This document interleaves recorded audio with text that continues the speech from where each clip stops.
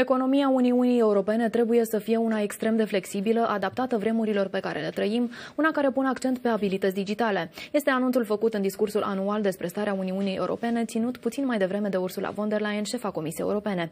Despre acest subiect vorbesc chiar acum cu Adrian Bența, consultant fiscal. Bună dimineața! Bună dimineața tuturor, o zi frumoasă!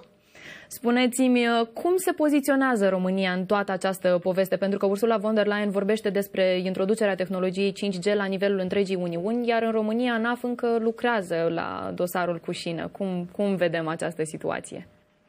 Bun.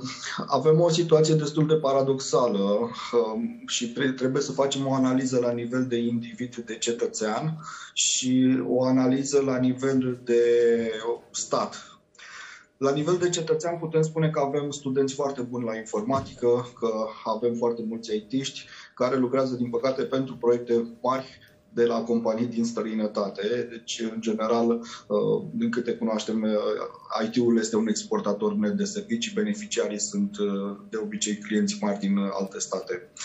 La nivel de instituție publică, din păcate, lucrurile nu stau atât de bine. Celebru declarațiile electronice se depun într-un dosar cu șină la etajul 2.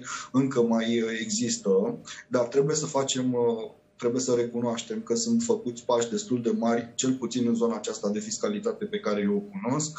S-a introdus comunicarea în mod electronic cu ANAF-ul fără să mai fie prezența necesară prezența cetățeanului în instituția financiară.